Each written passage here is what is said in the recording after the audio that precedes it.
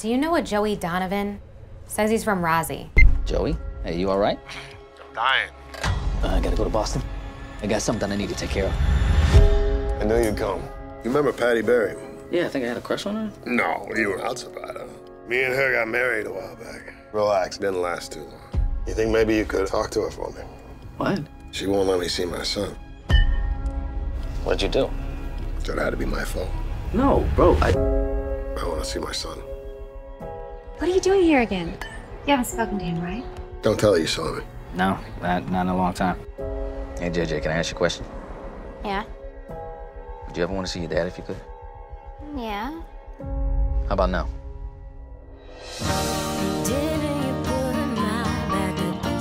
You know, you almost ruined the whole plan, right? Really? I'm sorry. I can't help you. So you're just gonna leave? Do you think I had a choice? There's always a choice, Patty. Want to tell me why she hates you? It's amazing. Survival.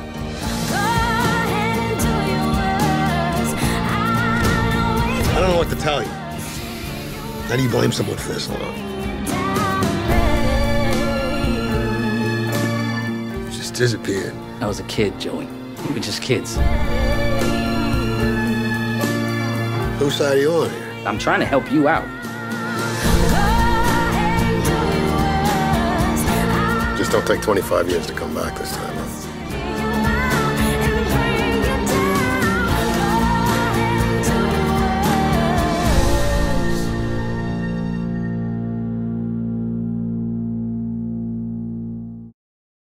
Okay, you know, first off, with with last night in Rozzie, I I I was I'll be I'll be honest, I was really deeply affected by this movie. Really wonderful film, and you know what? I, I want to go first with saying just the aesthetic, the visual aesthetic of the movie. Just can you guys talk about creating a movie where you could have made it really flashy, but everyone talks about let the story tell itself, and I think that's what you guys did with this movie, and I think that was a great creative choice. Can you guys talk about that that visual choice for the film?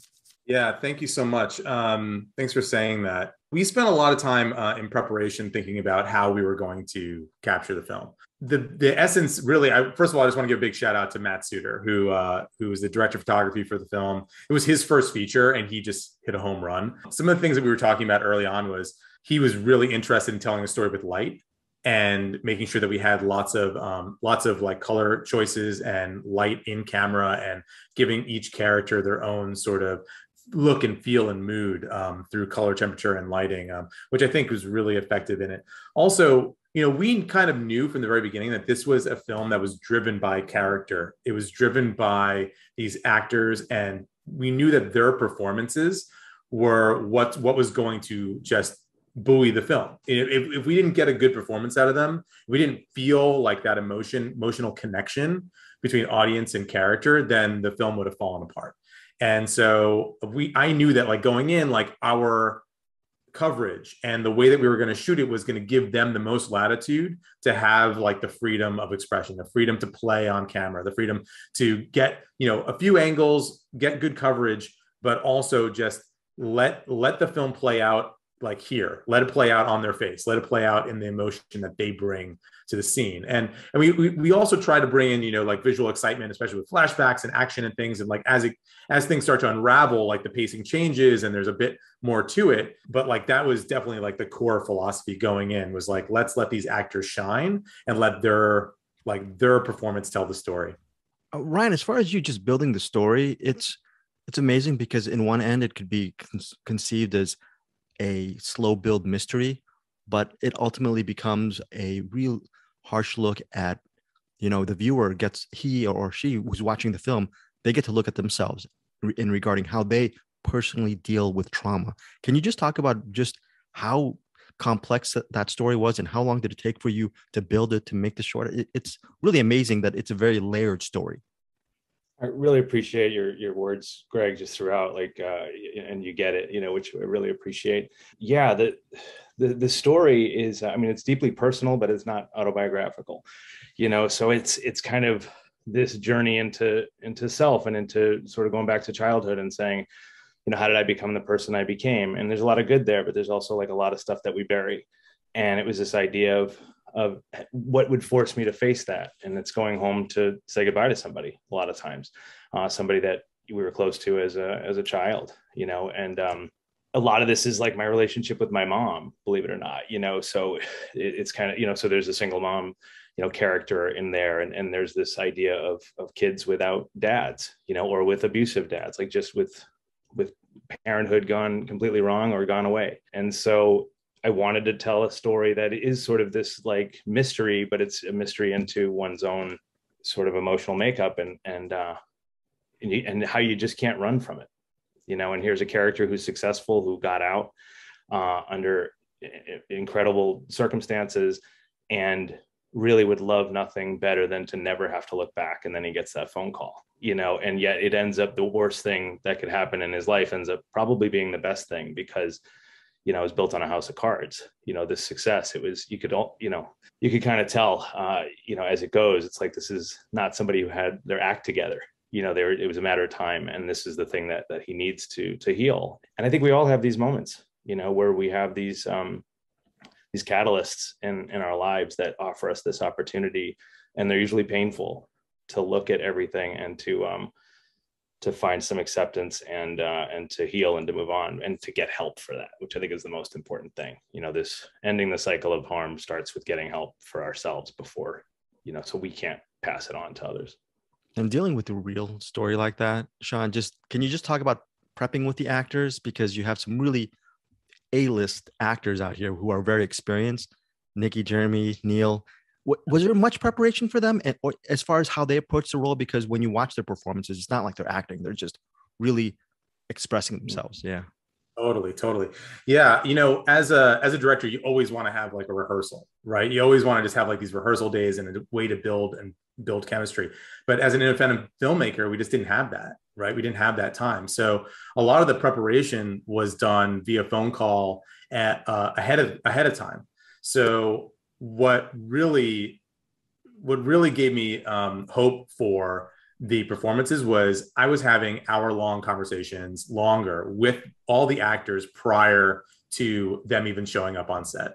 Neil and I would just spend, you know, tons of time just talking about talking about trauma, talking about like how do you heal from trauma? What are the different what does PTSD look like? What does it what does it feel like? You know, what can we pull on from personal experiences? You know, we were doing I was like sending him podcasts. He was like telling me about his life. He was talking about things that he had dealt with with anxiety and and, and it was like this it was this really like long beautiful kind of like dance of preparation of just learning about the character so that when uh, what like when Neil just showed up on set, like he was Ronnie, like he just had it and and I was just you know okay this is great. Like he's just like I just need to make sure that he stays in the right lane but like he was really he was really so immersed. And similarly with Jeremy you know when he when he showed up on, uh, we had we had lots of conversations. He was drawing on some personal experience from um, losing a, a good friend of his and thinking about what it was like to like to actually let yourself die and what you have to go through. Like actually letting yourself go is its own journey and uh, when he talked to me about that, it was so visceral and so real. I um, I was just I, I, I wanted to I wanted to let him have the freedom to do that. And so as long as we were within, you know, in the bounds of the story, it was about them about them just doing their thing. And um, you know, you're very lucky. I mean, I was very lucky to have these amazing actors and Nicky too, incredible. Like somebody who doesn't normally step into a high drama role like this but then just arriving with all of the tools and all of the ability to just like be and step into that person drawing on her own uh, experiences from friends and all the stories that she had heard from her single mother friends and people that she had left behind uh, from her small town. So like really when you when you get great actors that are that are ready to do the research and ready to bring their all and their depth I, I mean i was just like just get out of the way. You know let, let them do let them make their magic happen I, remember watching Stand By Me as a teen. I think I, I forgot what year it was released, but at the end, I thought to myself, well, I mean, this is a really cool story. I read the original Stephen King novella story that it was based on, but I thought, oh, you know what? When I grow up, I'm not going to be like these kids because uh, it's just childhood. You move on, and this is a teenager thinking. I think with can you guys talk about your story and film how it really confronts the fact that you know it's not your last night in Rozzie. It really don't don't kid yourself because you know your childhood is always going to be be with you and haunt you in a way but maybe you can actually take the steps to embrace it for for everything. Can you guys speak to that theme Yeah. of the movie, which I thought was very resonant? I, I love that you brought up Stand By Me. I mean, that was one of the first influences for me. It was like, you know, how do I do a Stand By Me with like a Goodwill Hunting feel, right? Like this kind of idea was where it, it all started. And the end of Stand By Me, where he's, you know, spoiler, you've had 40 years to watch it, but you know, here it is. When he says, you know, when he he reads about Chris Chambers, who was breaking up a fight and got stabbed in the throat and died. You know, he hadn't seen him since they were kids. They kind of fell apart and uh, or he just, you know, fell away and did different things, even though they were so close that summer, especially. And uh he's, you know, the last sentence is, you know, you never have what does he say? Something about like having friends like you did when you were 12. He's like, you never, I never had friends like I did when I was 12, you know, Christ is anybody, you know, something like that. And and that was the idea of these friendships. And you forget all about it when you're younger, you know, so like 13, 14, like I moved out of Roslindale at 14 and I was at a, in a private school and I was like away from my friends that I was hanging out in the schoolyard with and breaking windows and, and doing stuff. Uh, and I didn't really have a whole lot of contact with them in that time. And then I left, you know, and small town, but big enough, you know, and I was never around. And so you just kind of move on. And I'd moved around a lot anyway. But like as soon as you, you know, I settle and become an adult and especially having a child, you know, for me was was a big part of this. Even though I wrote this before I became a father, it really kicked in for me when I was doing the rewrites and developing to make the movie and when it became paramount to to make it, to do it.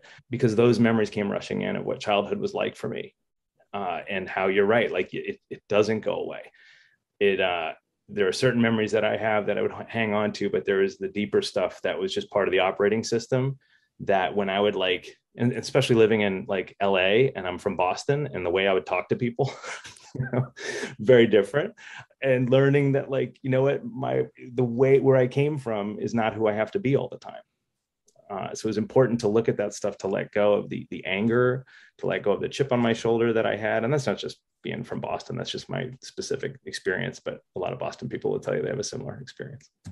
Another another theme is this this movie is also about I, I think it's very simple, but we a lot of us never get there about the importance of telling the truth of who, who you are and what you're about, and also the importance of just really appreciating a single parenthood, being a single parent and raising your children. And then when you grow up, hopefully one day you you step up to the plate and you can start you know um, continuing that run as well can you guys talk about that that those elements of the movie Yeah, I mean, when when I read the script, I think that one of the things that resonated so um, one of the things that resonated with me so clearly was just the the stories of the single mothers in the film.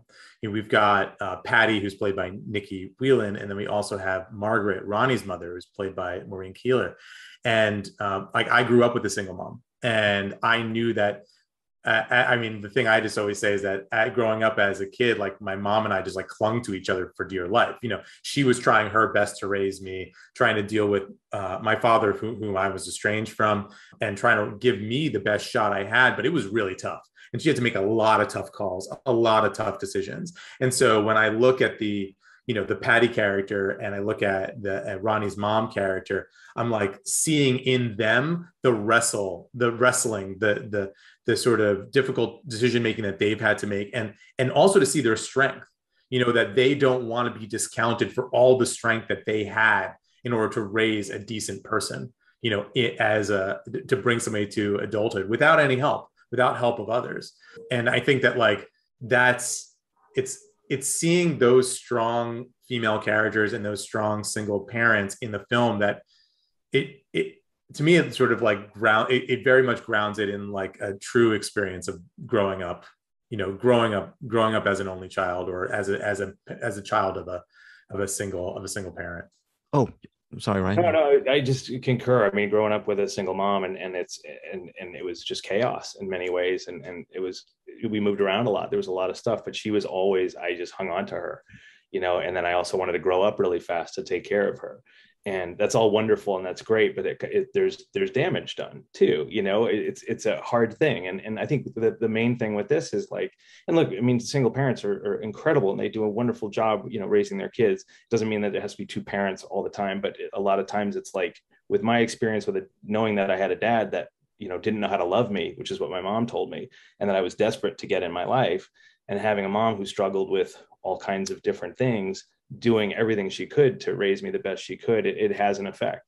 And so, but she gave me a shot, you know, she gave me a shot to like go and have a strong relationship and to have a child that I can raise, you know, uh, hopefully uh, with a stronger and more stable environment, you know, and, and hope that that makes a little bit of a difference. So it's this weird bittersweet thing of like, like I would never want to blame my mom for anything, you know, but I also need to be real about like what happened. And what happened to me from her she got from somebody else and they got from somebody else or from an experience you know it's not pointing fingers at people. But um you know we just try to keep getting better and evolving as as human beings.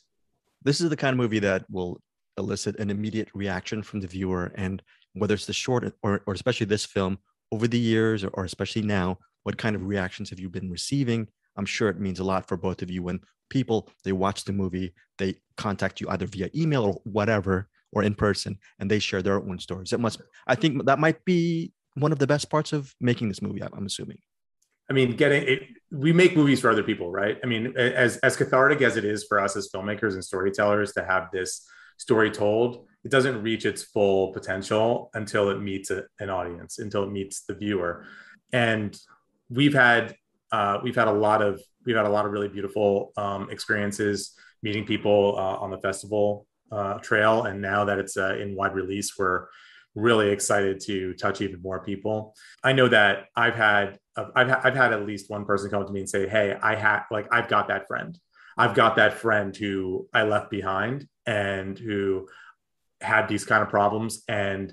Uh, and and like I extracted myself from the situation. Like I'm I and I was the guy that got away, you know, that that left. So like seeing uh, people you know and uh, in the film is something that has definitely come up for me like uh, seeing that like oh yeah i had that best friend who became an alcoholic and abusive and uh, i'm not sure that you know it's like I, I feel sorry for him but i don't know what i could have done and now i feel like you know it's like you've really captured this sort of ambivalence that you have when you're when you're trying to rehabilitate somebody or try to help somebody that you were once really close to and the other thing that i think we hear a lot is and something that you alluded to a little earlier is just that you know the idea of trauma and the idea of like having to get over trauma and how do you do it and how does trauma affect your life is something that people have definitely spoken to. It's the thing that I always like to say is that the film, what the film does really well is it explains trauma not as like a single incident that happens to one person, but as something that happens to everybody that that person touches. So if like you're affected by trauma, it's this web effect, it's this network effect. Because if you're you're still damaged from it, then it affects the people you love. It affects your parents, your kids, your friends. You know, it like ripples outward from the point where it hits. And I think that that's a that's a, that that's something that keeps on coming back to us uh, when we're when we're talking to folks. Ryan, I mean, you've you've had some great experiences too. Yeah, just I mean, people are. It's it's it's hard to even talk about because I have so many people that are so close and they know me so well and a lot of what they come back with is they're just so proud of me for you know making this story and doing it and being you know vulnerable and and the and us coming together and, and bringing this out and but people talking about you know, my friend who's a, therapist who I'm really close with who you know I talked to her to get ideas and to make sure that we were doing the right research to find out about the PTSD to find out about how it manifests and does burning make sense like these things. And she just was blown away when she saw the finished product you know and she's like you, you did it right you know. And then I I actually met another therapist at a Woods Hole Film Festival just out of nowhere. I was at a restaurant and this is a couple of miles from the from the festival and they're like are you the guy who did the movie? And, and I was talking to them and, uh, and she was like, you know, you nailed it and you did it really wonderfully. And, and, and that is very fulfilling to know that we're being truthful to, um, to this, you know, situation and to, um, these dynamics and, uh, the behavior and the feelings and being able to show that. And I think in particular, you know, toward the end, not to spoil anything, but just his journey as it gets more frenetic, as he's trying so desperately to hold everything together and he can't and he can't shut out the past anymore. He can only you know you can't get around the pain you have to go through it. And that's the thing that so many people have um, have locked on to. And the performances. Like people are just like how'd you get those actors? You know like they're amazing you know? So th- these are just wonderful wonderful things to hear. Yeah absolutely. When you guys see Neil and Jeremy going at it, it is, are those special days on, on the set? And I, by the way, I, I interviewed uh, Sisto for a previous tennis movie he did Oh, several yeah. years back. So I love that little. I don't know if it was in the original, but that that in joke is amazing with the the TV. I, but but those must be really those must be really cool days. I mean, the, when you're when you oh. see them going back and forth, right? right? Oh yeah, I mean, we the story I always tell is that like we knew going in that the heart of this movie, this movie lives and dies on the relationship between Ronnie and Joey, right? If that doesn't work, if we don't believe that they would that they were that they were brothers and that they would go to bat for each other, then the film sort of falls apart. And after we were, I mean, we were shooting, you know, three days straight in this hospital with Jeremy and Neil, and it just, and we basically shot sequentially. So like the the the relationship just kept on escalating and changing, and like the power dynamics kept on shifting. And you know, it goes. Uh, Neil starts just sort of walking on eggshells and like not really sure what his footing with with Jeremy, and and like it, and then it progresses to this point where they're really like having at it with, with each other and they're really giving it to each other. And i just remember when we wrapped when we wrapped that that set i just thought to myself oh my god we got it. Like we got this. Like this is our film is going to work because these scenes were so amazing and to see just those two heavyweights just like go at each other and be so giving to one another always be present for one another you know in uh in in the shot reverse shots and like whenever whatever the circumstance was they were just like there for each other um it was just beautiful it was beautiful to watch Final question to both of you guys. We, we earlier we mentioned Stand By Me. Can you name a what? Can you guys talk about one of your favorite films and what is it about this film that even to this day speaks to you, not just on a nostalgic note? you know, you can count on me is something that I really loved watching. And um, you know, at Manchester by the Sea, you did more recently, uh, Lonergan. But I watched that and I saw there's a seven minute scene, you know, with Laura Linney and uh, Mark Ruffalo, brother and sister, in like the first time they've seen each other, and it's seven minutes, which is like nine years in a movie, right? It's just the two of them talking, and um, you know, I just was amazed at what they could do with a conversation. Uh, to bring up so much of the past without having to to show too much with it, with just this like these these two kids that were orphaned together who are on such different pages but they're trying so hard to connect and they can't. You know that really really hit me. Uh, another one is like tender mercies you know like the ending of tender mercies or like you know that we steal the ending somewhat you know from that or from you know uh what do you call it? Um uh the the baseball one field of dreams. Like these father son you know dynamics that are so important to me. And here's another one that's really a wonderful movie that somebody pointed out to me when i told them the idea like uh, years ago is oh a guide to recognizing your saints takes place in, in flushing queens. And it's got like superstars all over it. And just just a wonderful movie about the past and that takes place in the 80s and then it, it's today and kind of going home and dealing with all that. So those are the movies that have uh, had an influence on me specifically for this. I'm wearing my star wars shirt which I hope I'm not getting in trouble for licensing or anything. I meant to put on a different shirt, but you know, I got daddy issues, so there you go.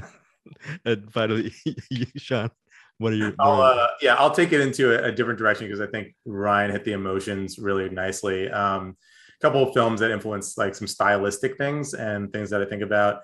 The Pawnbroker by Sidney Lumet, which is um, really influenced the flashbacks and how we thought about doing flashbacks. Uh, so that's a it's a black and white movie. It's about a Holocaust survivor. You don't really understand the trauma of the main character until really very far into the film, and uh, the way that they use single frame flashbacks was kind of like the inception point of this idea of like you can use single or double frames in order to create uh, flashback feelings. And it was amazing how that simple uh, trick created not just uh, not, not just revealed like trauma in the character, but also create a visceral reaction in the audience, which is something that I'm always looking for. Is like what are the tools of cinema we can use to align the audience's emotions with the character's emotions another and then another film which I always I mean I always talk about Goodfellas because it was kind of like the moment I decided I want to be a filmmaker, which is maybe a little bit too obvious, but like um there's there's two scenes in that film that like really did it for me. And the first one was um there's it's these scenes in conjunction, right?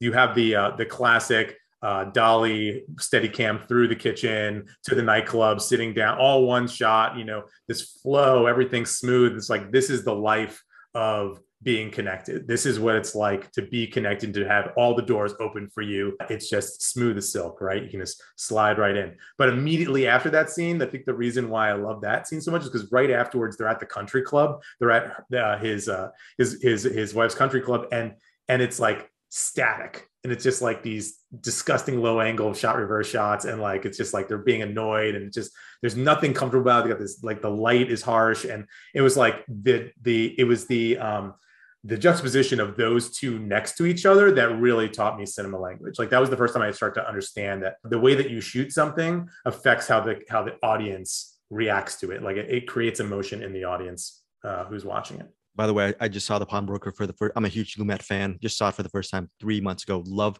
that film, amazing film. And I still, after all these years, still haven't seen You Can Count on Me. And Margaret, the, director's cut, is probably one of my all-time, an all-timer for me. So really excited to see, you know, You Can Count on Me as well. So thank you guys so thank you guys so much for your time. I really love the film. Oh, thank you very much, Greg, and really appreciate your questions and and all your your uh, yeah your just support. Can't talk. right.